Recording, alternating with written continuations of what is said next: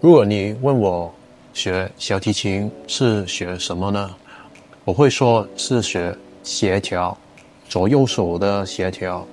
如果你想学得快一点的话，你看的方法不要是独立的去看每一个技巧，什么换把，什么节奏，这样的话就会觉得很难，因为。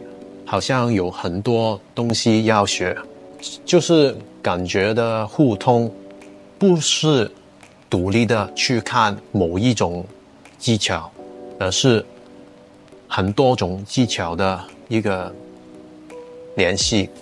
我觉得这样看的话，就比较集中，嗯，不会分开呃。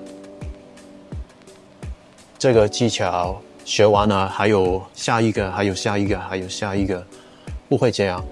很多人说学小提琴很难啊，嗯，他们就是一直在说很难很难，节奏很难啊，呃，怎么拿弓很难啊，还有音准很难啊。首先，我们不要有这么多难在心里。不，不能，不可能这样想的。你问我的话，我不觉得学小提琴跟学语言有什么分别。音乐本身就是一种语言，我们只是用一种乐器，可能是钢琴，可能是嗯，flute，呃，小提琴去说。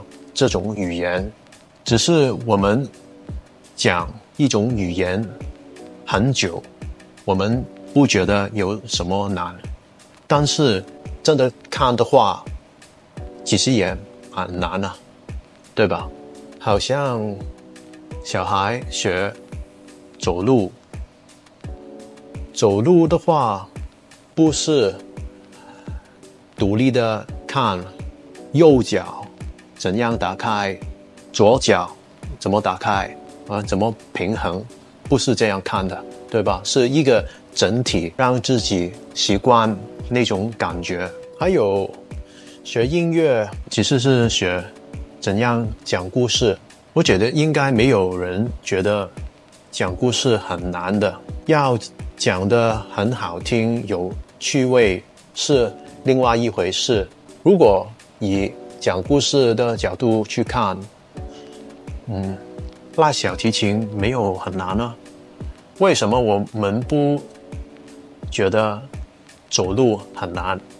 但是长大了以后会说啊，学一个学一种乐器很难，技巧本身很难，因为要时间去学的。去练的小孩的时候学讲话一样，但是为什么我们从前不会跟爸爸妈妈说发音很难？我们就是慢慢的讲，跟我现在讲普通话一样。对啊，就是我们一直在想很难很难，真的没有意思。就是现在的大人。太容易给孩子借口，找借口。我小的时候没有啊，爸爸妈妈不容许我去找借口。不要有难的念头，不要去想太多。你慢慢的一步步的去练，去听，很留心的在听，慢慢的就拉完一首歌，慢慢的就会变得好听。呃，希望就算是大朋友，你也可以找到音乐、玩音乐的乐趣。谢谢。